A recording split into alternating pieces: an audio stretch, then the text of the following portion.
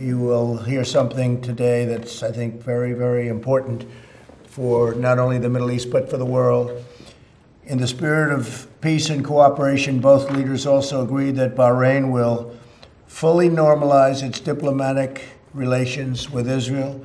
In addition to the UAE, a second Arab country will take part in a meeting at the White House this week to officially pen a normalization agreement with Israel. We've been working on this for many years, but we wouldn't come to this historic moment without the forceful leadership of President Trump and his able team.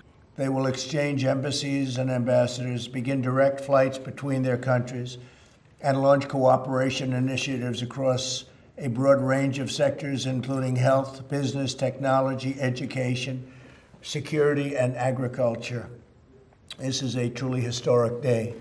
Israelis largely welcoming the deal, while for Palestinians living in the West Bank, it isn't necessarily about peace. The Bahrain American Israeli uh, agreement to normalize uh, relations is now part of a bigger package in the region. It's not about peace, it's not about relations between countries, we are witnessing an alliance, a military alliance being created in the region. Maybe they want to call it an Arab Israel NATO. Ramallah has summoned its ambassador to return from Manama.